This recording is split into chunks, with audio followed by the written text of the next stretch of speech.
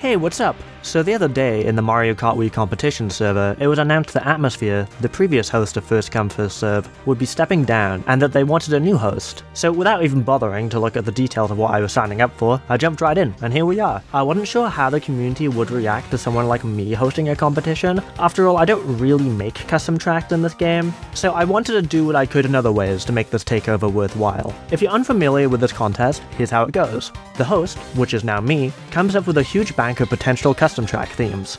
Then participants select a theme from that pool. Simple enough, but there's two big twists. Firstly, you can't pick the same theme as someone else, hence the name First Come, First Served. And second, each theme comes with a randomly selected requirement that the participant doesn't know about until after they've picked. Now, if you're astute, you'll notice that it's almost Halloween, so I figured it would make sense to do a bit of a spooky themed event. But from looking at the theme bank of the previous event, usually participants are given a much wider variety of options, and I don't want to come in here and just be a budget CT jam. So here's the plan. This edition of First Come First Served will be a character event. The theme bank will be a list of Mario characters, and participants will have to create a custom track themed around whichever character they choose. The Halloween theme is on me as the host to pick the characters that fit the season. The participants can make whatever type of track they want, Halloween or no. So let's say you end up with King Boo as your character. You're more than welcome to create King Boo's birthday party, have the track set in the day, and have no reference to anything even slightly spooky. I hope that makes sense.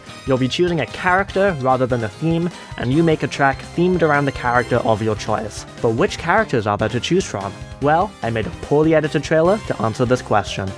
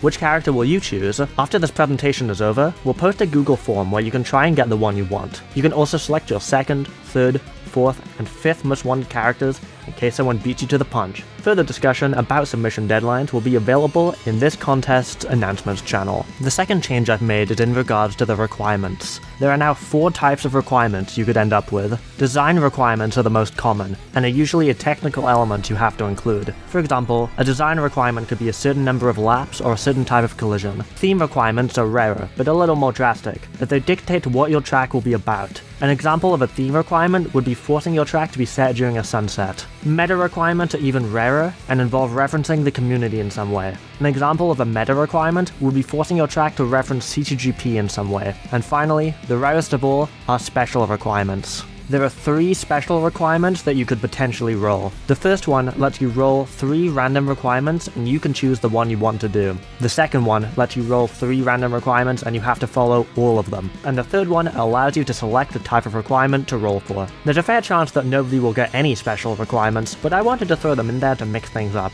Should this event be successful, I would love to hear feedback surrounding which requirements ended up being good, which ended up sucking, and what I should add into the pool for the future. This premiere is ending, and the form is about to be posted on the Discord server. Let's count down together. 10, 9, 8, go! Get tricked, idiot!